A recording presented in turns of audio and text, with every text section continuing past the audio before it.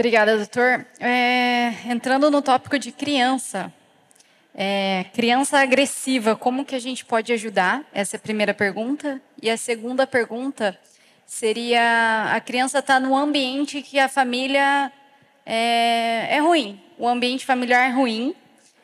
Como que eu identifico que essa criança está se aproveitando desse ambiente para ter, para fazer ter alguma alguma atitude, algum comportamento não favorável e quando eu sei que esse comportamento tá nela mesmo, que é, é verídico ou quando ela está se aproveitando desse, dessa situação. E criança agressiva, como que a gente pode ajudar ou lidar com esse tipo de criança? Então é identificar ali.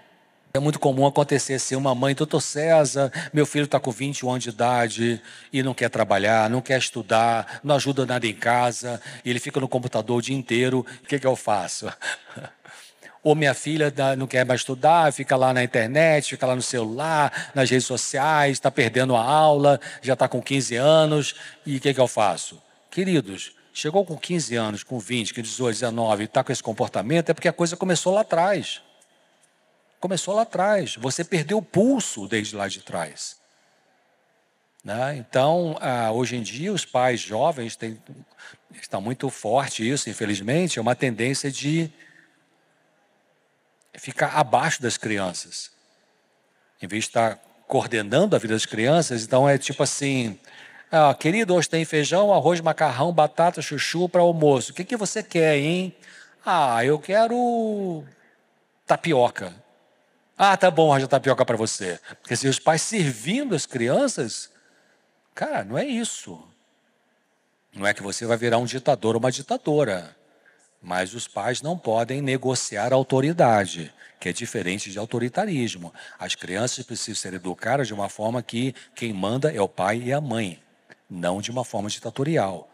Então, a gente vai ajudando essas crianças, desde pequenas, a terem esse respeito pelos pais que hoje está muito difícil de ter. A gente vê esses monte de reportagens na TV de violência na escola, né? Alunos que peitam o professor. E, um troço absurdo. E tem algumas leis que vai proteger esse tipo de coisa, que é um troço mais maluco ainda, né? É, tem uma, uma inversão aí de valores e tal. Então, é importante isso. Você ajuda a sua criança desde que é pequenininha. Você dá, assim, um presentinho, dá um abraço, dá um aconchego. Aqui no Nordeste chama, dá um cheiro, né? Dá um cheiro, um beijo e tal.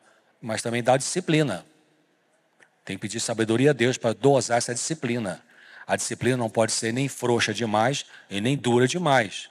Se for frouxa demais, a criança vira um, um, um pachá, que, é que todo mundo fique servindo. E é ruim para ela. Se for dura demais, a criança se sente é, um zero à esquerda, perde essa liberdade. Então, não sei se estou respondendo a pergunta, é, como lidar com uma criança difícil? Porque também tem isso que eu já falei aqui várias vezes, é a sensibilidade daquela criança. Tem crianças mais difíceis do que outras? Sim, tem crianças mais difíceis do que outras. Igual na vida adulta, né? Tem pessoas mais difíceis na nossa família ou no nosso trabalho, ou na comunidade religiosa, pessoas espaçosas. O que é pessoa espaçosa? É aquela pessoa que não tem desconfiômetro. Ela não se liga que você não está ali para servir a ela como se fosse um mordomo. Então você tem que colocar limite para essa pessoa. São pessoas abusivas, manipuladoras. Então tem crianças que têm esse perfil, infelizmente tem, talvez receberem em parte uma herança genética para funcionar desse jeito, então eu vou ter que educar essa criança. Eu estava comentando ontem no almoço com o pessoal ali, anos atrás, quem é mais idoso vai talvez lembrar, não sei, aqui do Nordeste, a professora Áurea Soares. A professora Áurea Soares, ela foi uma educadora adventista de muitos anos, e foi departamental de educação na associação lá no Rio de Janeiro, quando eu estava entrando para a igreja. Então, é, uma, uma, uma, palestra, a professora, a professora Áurea falou assim: você tem uma criança, 4, 5, 6 aninhos, está na hora de tomar banho. Uma criança quer ficar continuar brincando, ou assistindo a televisão, ou brincando com Lego, ou é, Hot Wheels, estão aí, né?